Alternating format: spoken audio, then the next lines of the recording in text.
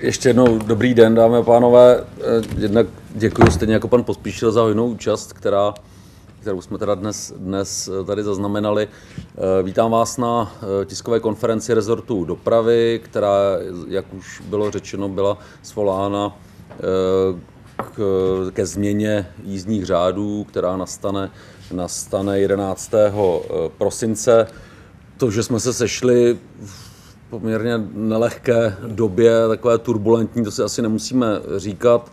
Já jenom úplně krátce zmíním to, že asi všichni máme radost, že po pandemii koronaviru se postupně vrací eh, cestující eh, do dopravy. Eh, v současné době jsme zaznamenali meziroční nárůst zhruba ve výši 10% a jsme na cca 95% počtu cestujících před před eh, pandemí. To je pozitivní vývoj, ale samozřejmě, eh, samozřejmě se snažíme o to, aby se ta čísla i nadále zvyšovala. Asi opět nemusím zdůrazňovat, že sotva jsme se jakž takž dostali z jedné krize, tak přišla krize druhá, vyvolaná válkou na Ukrajině, skokový nárůst pohoných hmot a další komody, které se projevují na cenách ve veřejné dopravě což samozřejmě vyvolalo nejen zvýšené náklady pro nás jako objednatele. Předpokládáme, že nás veřejná doprava bude stát eh, zhruba o 160 milionů korun ročně více. Je to zhruba půl na půl železniční a v autobusové dopravě. Přineslo to samozřejmě eh, i komplikace eh, dopravcům, myslím, že, že především teda odbor dopravní obslužnosti ve spolupráci s Koredem, že se snažil uh, předkládat uh, vedení Libereckého kraje materiály, které aspoň nějakým dílčím a menším způsobem řešili ty, ty ekonomické dopady u dopravců. Snažili jsme se Snažili jsme se zohlednit eh, nárůsty cen PHM a zrovna dnes jsme schvalovali dodatky, které, které eh, zasmluvní vlastně tu dvojí indexaci eh, u pohoných hmot a aspoň, aspoň tedy v jistém ohledu tu situaci finanční budou, budou řešit. Zvyšování ceny nákladů na veřejnou dopravu je zcela evidentní, je to jasné, zatím jsme nemuseli přikročit k tomu, že by eh, že bychom omezovali dopravu, že bychom snižovali kvalitu, ani s tím, ani s tím nepočítáme, ale určitě se dá předpokládat, že to procento z rozpočtu, které vynakládáme na veřejnou dopravu, že se bude, bude eh, zvyšovat a eh, určitě to, určitě to přinese přinese v budoucnu nějaké komplikace. Takže to je jenom úplně na úvod eh, obecné informace z mojí strany, detailní a odborné informace určitě padnou ze strany pana Pospíšila a dalších, dalších eh, zástupců Korit a odboru dopravní obslužnosti. Ještě jednou díky eh, za vaši účast a jsem rád, že, že budu moci předat pak následně ocenění. A na to bychom asi navázali hned, no, takže než se dostaneme k těm odborným věcem, tak eh, jak nám velí už tradice, tak bychom rádi poděkovali eh, dopravcům, kteří se podílejí na eh, kvalitě dopravní služeb FIDOL a jejich zaměstnancům. Za každého dopravce byl vybrán jeden reprezentant, který byl oceněn nebo bude oceněn jako nejlepší zadanou společnost. Organizačně na úvod jenom uh, já vždycky uh, vyhlásím jméno a jestli by uh, doprovod za dopravce mohl o oceněném zaměstnanci pronést několik vět na představení. Tak a začali bychom železniční dopravou. My se nejdřív s panem náměstkem asi nachystat. Jo. Poprosím kolegy, aby mi pomohli tady nachystat ceny. A Prvním zaměstnancem, respektive zaměstnankyní, kterou oceníme, bude za společnost D. Lenderbahn paní Horká.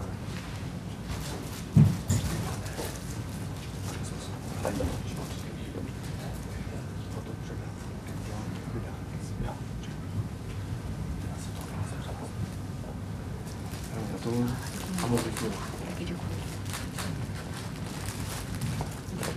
Děkuju moc. Nevím, jestli to poberete.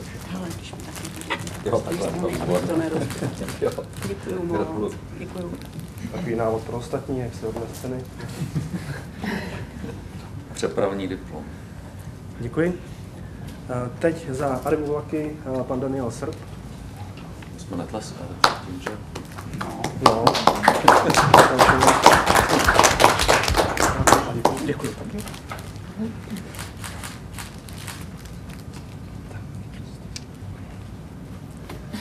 Tak taky.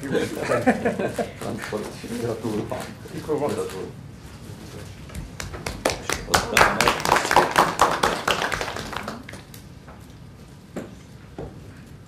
Tak, další cenu předáme panu Janu Pavlíkovi za České dráhy. Nemůžu to.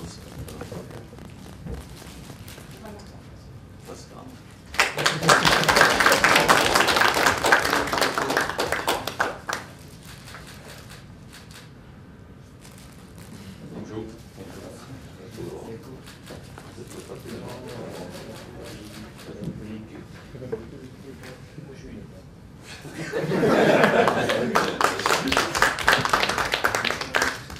Jo, jo. Dále panu Ivanu Bryhovi za společnost Paslight LK.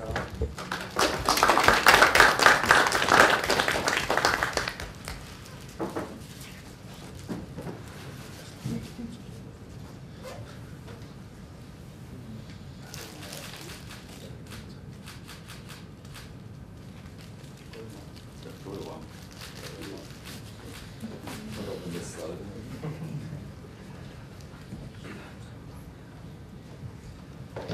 Dále panu Jiřímu Lobkovi za společnost ČSH Delberec.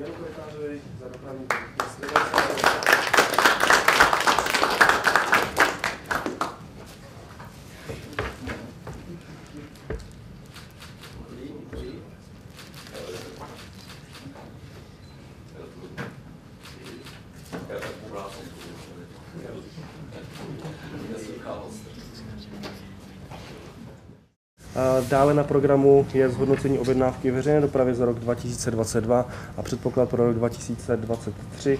Slovo má Monika Šulcová, vedoucí odboru dopravní obslužnosti. Děkuji, já za sebe řeknu uh, pár velkých čísel. Uh, Liberecký kraj v letošním roce u svých smluvních dopravců objednává celkem 21 milionů kilometrů, z toho 4,43 miliony v drážní dopravě a 16,65 milionů autobusových dopravců. Část těchto výkonů je objednávána Libereckým krajem i na území eh, sousedních krajů. Na základě mezikrajských smluv máme nastavenou spolupráci, eh, kde zajišťujeme dopravu i na území Středočeského, eh, Ústeckého a Královéhradeckého kraje. A eh, tyto kraje eh, nám potom část kompenzace eh, za tento rozsah hradí. Předpokládaná výše kompenzace v letošním roce bude činit 994 milionů korun, z toho 593 milionů u drážních dopravců a zhruba 401 milionů u autobusových dopravců. Když odečteme dotaci, kterou dostane kraj z ministerstva dopravy ve výši 128 milionů, tak uhradíme z rozpočtu 866 milionů plus další 41,3 eh, jako příspěvek eh, městům eh, z MHD na rozsah, který zajišťují za hranice svého území. Pro příští rok i přes skokové navýšení nákladů, eh, jak už tady říkal pan náměstek, tak Liberecký kraj zajistí rozsah eh, zhruba ve stejném rozsahu jako v roce letošním, takže se nepředpokládají, nepředpokládají žádné redukce. Očekávané navýšení eh, bude činit zhruba 160 milionů korun, 80 milionů u autobusové a eh, 80 milionů u drážní dopravy. Takže pro příští rok máme v rozpočtu kraje už více než eh, miliardu korun. Pokud mám jít do detailu, tak 455 milionů z toho je vyčleněno na autobusovou dopravu, 477 milionů na drážní dopravu a 54,5 milionů budou učinit příspěvky městům. A já myslím, že další detaily k, ke změnám přednese asi Koryt, tak předám slovo, jestli někdo má nějaký dotaz. Tak, děkuju. Případně to samozřejmě jako vždycky prostor bude na konci. Z pohledu ještě vyhodnocení roku 2022, tak jenom doplním to, co tady padlo. Všechny zajímavé čísla už řečeny byly, takže já jenom řeknu, že v roce 2022 tak Jedna z věcí, kterou jsme realizovali, tak byl projekt mezikrajských linek do středočeského kraje a hlavního města Prahy. Podařilo se, troufnu si říct, ve spolupráci s středočeským krajem Prahou a samozřejmě dopravci, tak ten projekt zrealizovat téměř bez problémů. Samozřejmě některé drobné věci tam bylo potřeba řešit, protože jsme zaváděli i nový způsob odbavení na těchto linkách, kdy Toto odbavení funguje takzvaným lomeným jízdným z idolu do pražské integrované dopravy. Další projekt, který bych chtěl se k němu krátce e, vrátit, tak e, bylo, e, byla optimalizace v oblasti Českolipsko a převzetí této oblasti vnitřním dopravcem společností ČSAD Liberec. Asi není potřeba zastírat, že kdekoliv se mění dopravce, tak to provází nějaké drobné problémy na úvod, ale troufnu si říct, že to, jakým způsobem ta oblast převzetá byla, tak bylo na poměry v republice a možná i ve střední Evropě nadstandardní, protože nemáme hlášeny nějaké zásadní připomínky a stížnosti ze strany cestujících. Objektivně zrostla kvalita, hlavně teda způsobeno modernizací vozového parku v oblasti. Na začátku roku jste asi všichni zaznamenali několik neoditých spojů, bylo jich dohromady, jestli si dobře pamatuju, to číslo 7. Takže a navíc to ještě bylo v době, v době kdy v republice hodně v úzovkách řádila pandemie nemoci COVID, takže to se samozřejmě také podepsalo pod tyto problémy. Takže já za sebe mohu shrnout, že oblast Českolipska nám funguje, funguje dobře. Jak už tady zaznělo, tak v rámci dopravní obslužnosti jsme se museli popasovat s růstem cen pohonných hmot. Padlo tady i to, že byly schvalovány dodatky ke smlouvám na dopravní obslužnost, tak aby dopravci vlastně byli schopni tu dopravu zajišťovat i nadále, protože asi to poslední, co by si Liberecký kraj představoval, je, že by nám dopravci ekonomicky vykrváceli, my jsme pak neměli s kým tu dopravu zajišťovat. Zároveň nepřímým dopadem, nebo možná i přímým dopadem války na Ukrajině, tak je ale i nárůst cestujících, protože to není způsobeno jen tím, že se nám cestující vracejí po pandemii koronaviru, ale částečně si myslím, že je motivuje k návratu i vyšší cena pohonných hmot a nevyužívají v takové míře individuální dopravu. A samozřejmě se pod to podepisuje i to, že tady máme nové spoluobčany z Ukrajiny a ti také využívají veřejnou dopravu, za což jsme rádi. V letošním roce společnost Korytelka zaznamenala velmi vysoký zájem o čipové karty Opuscard. Za sebe možná mohu trošku v nadsázce jako perličku říct, že některým cestujícím a obyvatelům Libereckého kraje se nepodařilo výhody čipové karty Opuscard vysvětlit za 13 let, ale lidem, kteří sem přijeli po válce z Ukrajiny, se to podařilo vysvětlit za týden a, a pak jsme měli občas i trošku vrázky na čele z toho, když, když nám stálo několik desítek lidí před zákaznickým centrem a, a tvořili se tam další fronty. Ale i to jsme, a to jsme zvládli. Tak, tolik krátké ohlednutí k roku letošnímu a co chystáme v roce příštím. Nejprve, než se dostanu k jízdním řádům, tak novinky v integrovaném dopravním systému IDO. Tak jak jsem tady zmiňoval, tak naším dlouhodobým cílem je úzká spolupráce se sousedními kraji a propojování integrovaných dopravních systémů. Loni jsme udělali velký krok ve spolupráci se středočeským krajem. Už se blížíme takřka asi do našeho vysněného maxima cíle. Rádi bychom v příštím roce realizovali obdobnou spolupráci s Královéhradeckým krajem v oblasti Jíčínska. a s Ústeckým krajem na relaci Česká Lípa Benešov nad Poučnicí, tak aby bylo možné i v rychlících odbavovat plynulé i dolů do integrovaného dopravního systému doprava Ústeckého kraje DUK. Novinkou, na kterou všichni čekáte a čekáme několik let, tak je modernizace odbavovacích systémů. Já to tady určitě musím zmínit, protože to je, protože to je prostě věc, která nás dlouhodobě v vozovkách pálí. Na projektu modernizace odbavovacích systémů pracujeme intenzivně opravdu posledních několik, několik let. Za poslední rok tak se podařilo dojednat a zároveň objednat odbavovací systémy v železniční dopravě, tam si troufnu říct, že už jsou dopravci připraveni. V tuto chvíli probíhá testování odbavovacích zařízení v linkové dopravě. Troufnu si říct, že pokud všechno dopadne i na straně dodavatelů odbavovacích systémů, tak by měly být připraveni do konce roku. S tím ale ještě souvisí i obměna těch zařízení jako takových. Tam asi můžeme nahlásit, že velká obměna byla dokončena u dopravce ČSAD Liberec. Dopravce Basline z důvodu změny dodavatele v průběhu toho procesu bude mít nová odbavovací zařízení v prvním čtvrtletí příštího roku.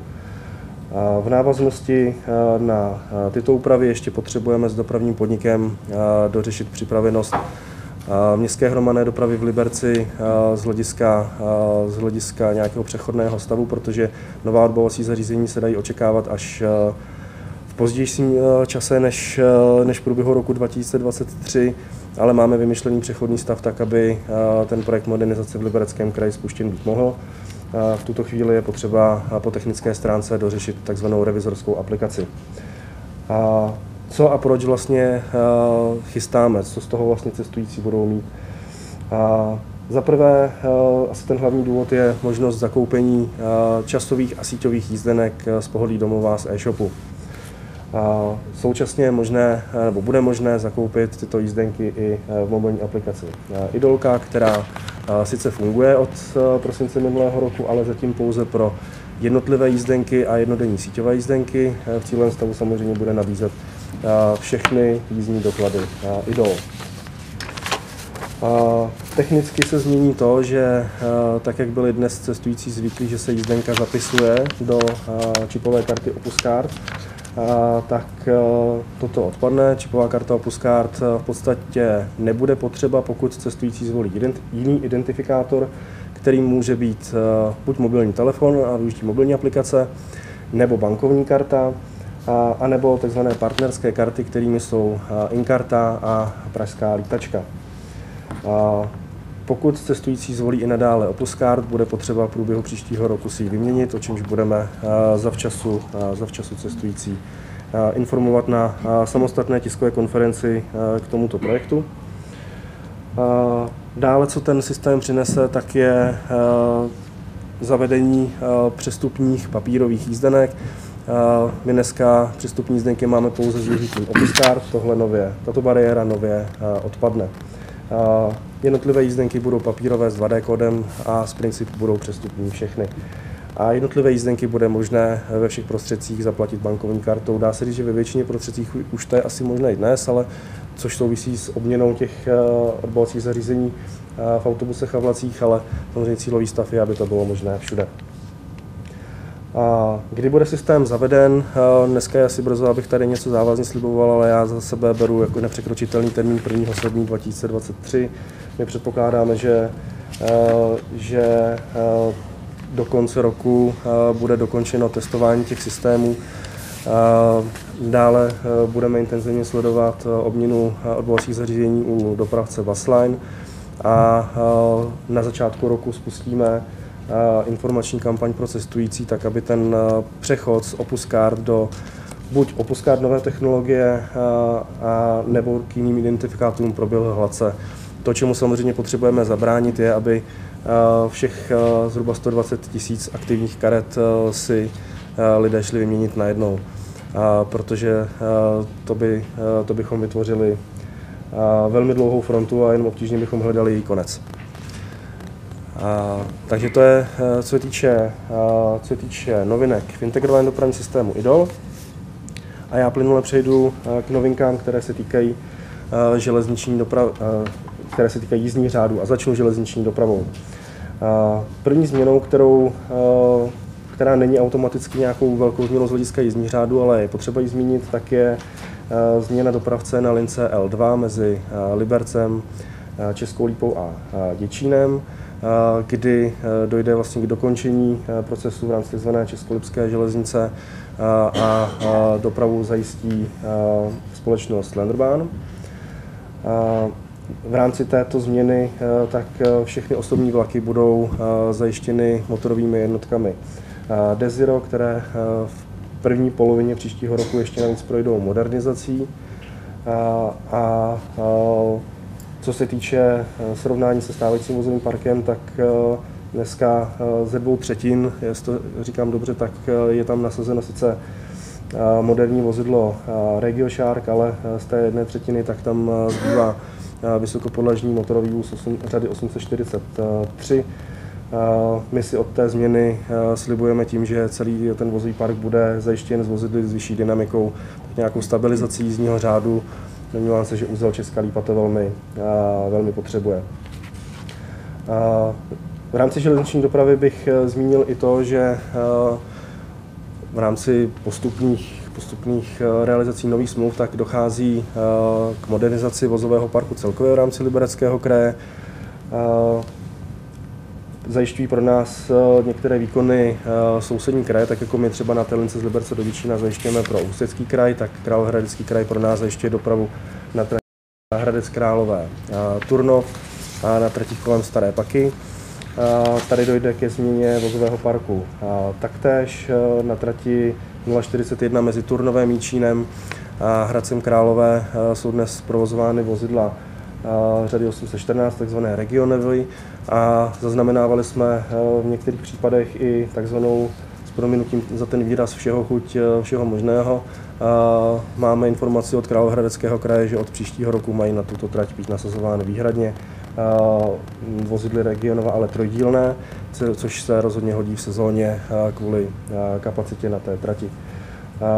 Vozidla regionová zcela z Libereckého kraje nezmizí, protože na trati mezi Martinicemi v Kekonoších a Jabloncem nad Izerou, tak bude vozidlo regionova nasazeno místo stávajícího starého motoráčku řady 810. Co se týče změn jízdních řádů v železniční dopravě, tak pouze několik spíše kosmetických změn.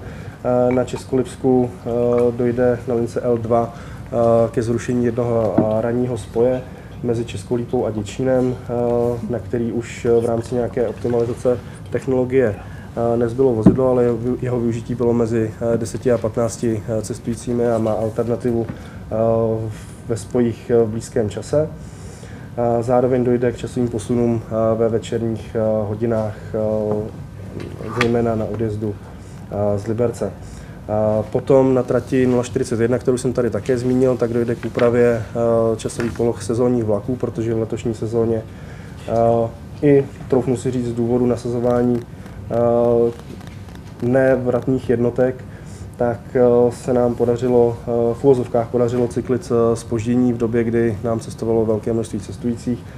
Ve spolupráci s Královéhradeckým krajem bylo rozhodnuto o tom, že sezónní vlaky se nebudou takzvaně křižovat v Rovensku pod Troskami, ale v Libuní a dojde tak k prodloužení jejich jízdní doby zhruba o 10 minut. Ale těch kmenových vlaků v základním dvouhodinovém taktu mezi Hradcem a Turnovem, tak tam ke změně nedojde.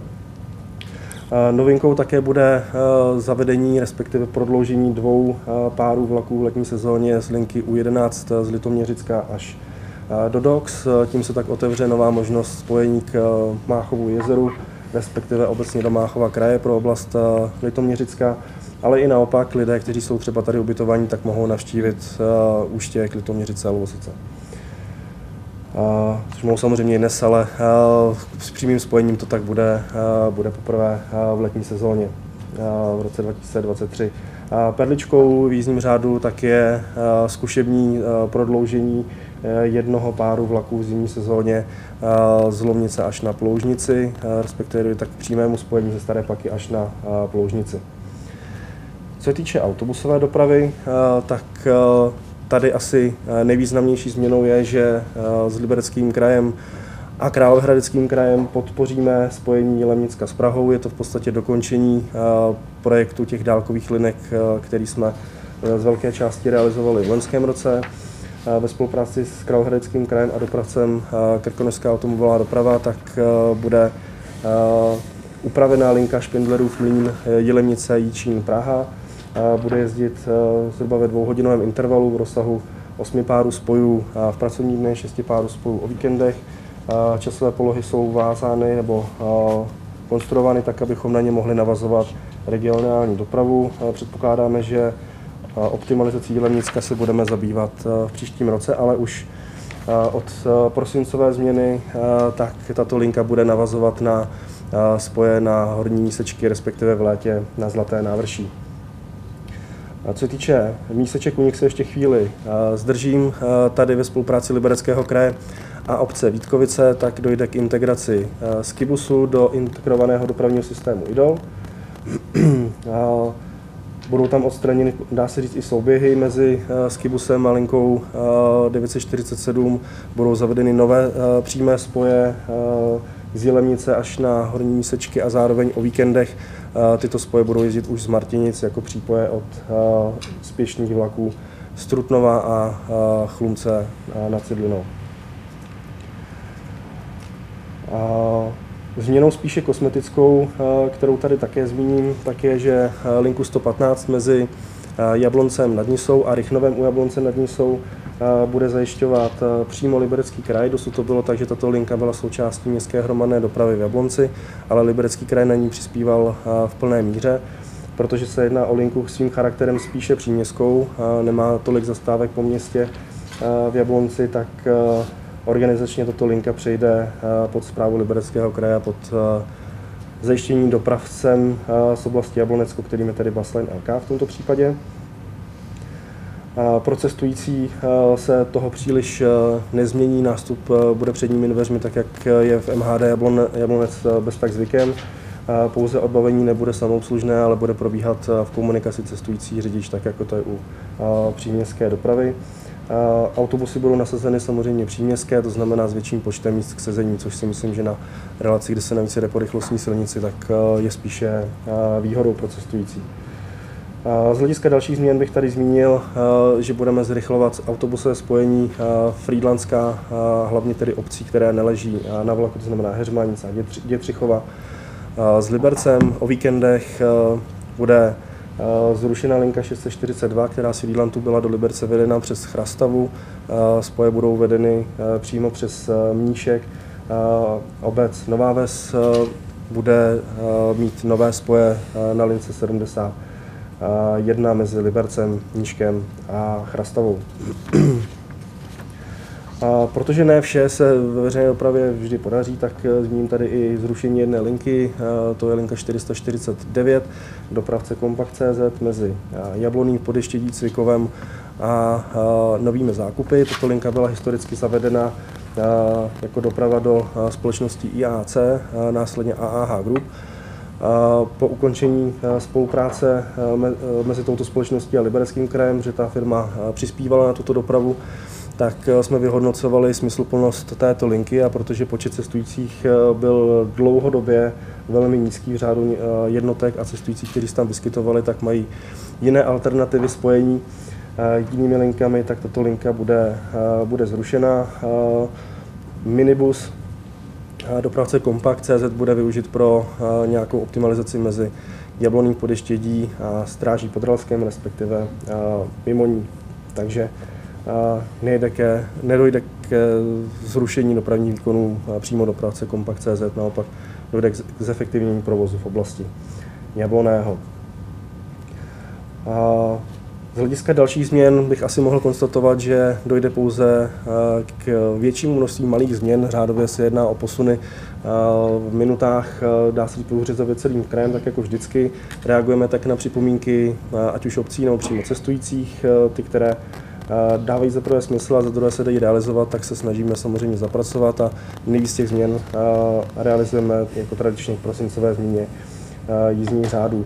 Co bych tady závěrem chtěl zmínit a vypíchnout, tak je spolupráce Libereckého kraje, potažmo rezortu dopravy s obcemi, protože v Libereckém kraji funguje i takzvaný režim nadstandardu, kdy obce mají možnost si objednat nějaké spoje navíc. V tomto režimu tak funguje městská doprava v menších městech kraje a abych se dotkl Turnova, tak a v Turnově. A, a nejenom ale v těchto, v těchto místech některé obce si přispívají na spoje, spoje navíc. Nově řešíme spolupráci s městem Jablone v Podeštědí, kdy se bude rozšiřovat obslužnost do Heřmanic a s obcí Kytlice, která sice je v Ústeckém kraji, ale Ústecký kraj tam spojení mezi Kytlicí a Novým Borem nechce podporovat nad rámec stávajících dvou párů spojů za pro školáky. Obec má zájem o rozsah vyšší, takže se ji vyzkoušíme a obec Kytlice bude spolupracovat napřímo s Libereckým krajem. Závěrem bych chtěl říct, že my si velmi vážíme spolupráce s obcemi, myslím, že funguje dlouhodobě dobře a budeme se snažit i nadále tady tuto spolupráci rozvíjet.